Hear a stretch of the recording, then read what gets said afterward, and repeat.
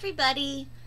Today's theme, we are learning all about fish. So I am reading one of my favorite books, and I know I say that about a lot of books, um, The Rainbow Fish. This story is a beautiful story with even more beautiful illustrations or pictures, and it teaches us about the importance of sharing and kindness and friendship.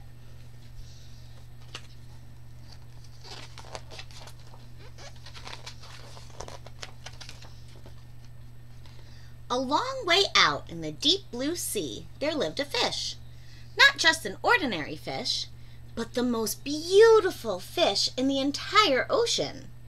His scales were every shade of blue and green and purple, with sparkling silver scales among them. The other fish were amazed at his beauty. They called him Rainbow Fish. Come on, Rainbow Fish, they would call. Come and play with us.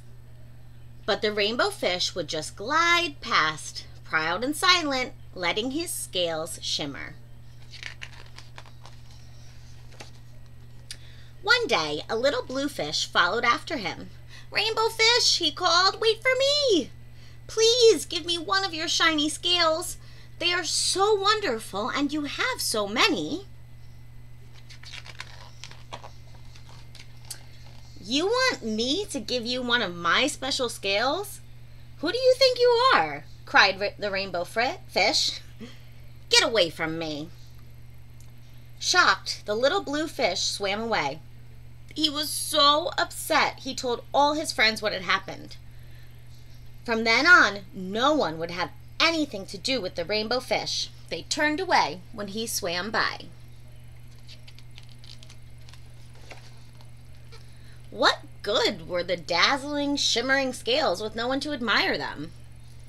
Now he was the loneliest fish in the entire ocean. One day he poured out his troubles to the starfish. I really am beautiful. Why doesn't anybody like me? I can't answer that for you, said the starfish. But if you go beyond the coral reef to a deep cave, you will find the wise octopus. Maybe she can help you.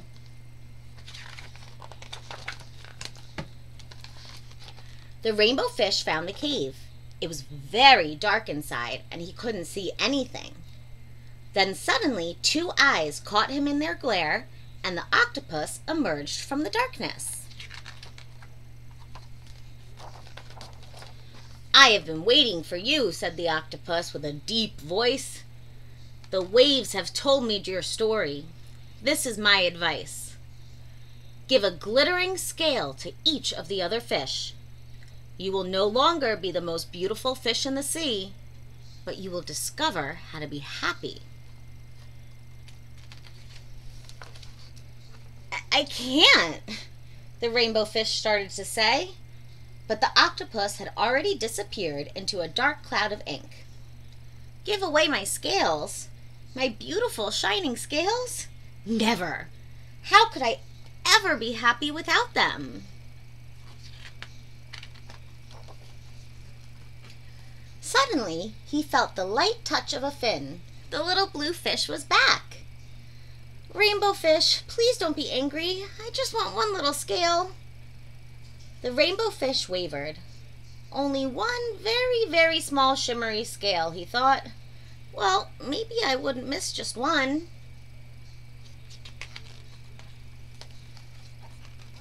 Carefully, the rainbow fish pulled out the smallest scale and gave it to the little fish. Thank you, thank you very much. The little blue fish bubbly played bub- bubbly as he tucked the shiny scale in among his blue ones. A rather peculiar feeling came over the rainbow fish. For a long time he watched the little blue fish swim back and forth with his new scale glittering in the water. The little blue fish whizzed through the ocean with his scale flashing, so it didn't take long before the rainbow fish was surrounded by the other fish. Everyone wanted a glittering scale. The rainbow fish shared his scales left and right, and the more he gave away, the more delighted he became. When the water around him filled with glimmering scales, he at last felt at home among the other fish. Finally, the rainbow fish had only one shining scale left. His most prized possession had been given away. Yet he was very happy. Come on, rainbow fish, they called. Come and play with us. Here I come, said the rainbow fish, and, happy as a splash, he swam off to join his friends. The end. This is another story that again reminds us it's not about what we have, but more about who we have that's important in our lives. And you are important in mine. Have a wonderful day, and I will see you again tomorrow for story time.